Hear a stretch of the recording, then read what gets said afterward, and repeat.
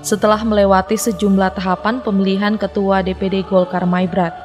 Akhirnya Luther Karet terpilih secara aklamasi dalam musyawarah tiga daerah DPD Golkar Kabupaten Maibrat. Ketua DPD Golkar Provinsi Papua Barat mengatakan semua kader Golkar mempunyai kemampuan yang sama, sehingga siapa pun yang terpilih menjadi ketua diharapkan mampu merangkul semua kader untuk membesarkan Partai Golkar. Dalam amanat Ketua DPD Golkar Papua Barat, berpesan kepada semua kader untuk tetap solid dan bersatu menyambut Pesta Demokrasi 2024 nanti.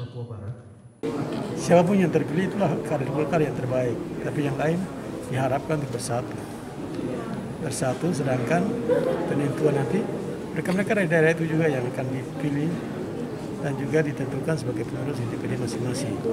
Dan saya harapkan itu harus solid harus solid dan tanggalkan perbedaan persepsi harus satu harus satu secara berjenjang kami dari provinsi kabupaten kota juga harus bersatu Sementara itu, Ketua DPD Golkar Maibrat mengatakan hal utama yang akan dilakukan yaitu konsolidasi partai dan merangkul semua kader untuk bersama membangun Partai Golkar ke depannya. Flora Batlayedi, Kompas TV Sorong, Papua Barat. Bu Dr. Aris Ekonomi Lambertus Jin Maung